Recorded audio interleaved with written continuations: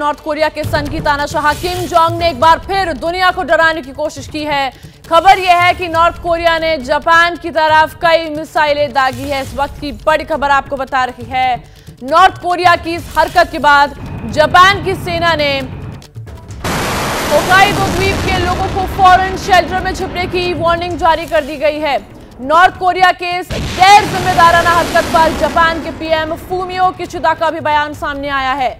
Kishida ने missile firing की निंदा करते हुए जानकारी दी है कि ये इंटर कॉन्टिनेंटल बैलिस्टिक मिसाइल का परीक्षण था।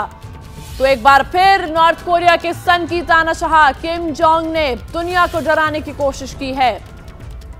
आपको बता दें, नॉर्थ कोरिया ने जापान की तरफ़ कई मिसाइलें दागी है और नॉर्थ कोरिया की इस हरकत के बाद जापान की सेना ने होकाइडो द्वीप के लोगों को फ़ौरन शेल्टर में छिपने की वार्निंग जारी कर दी गई है।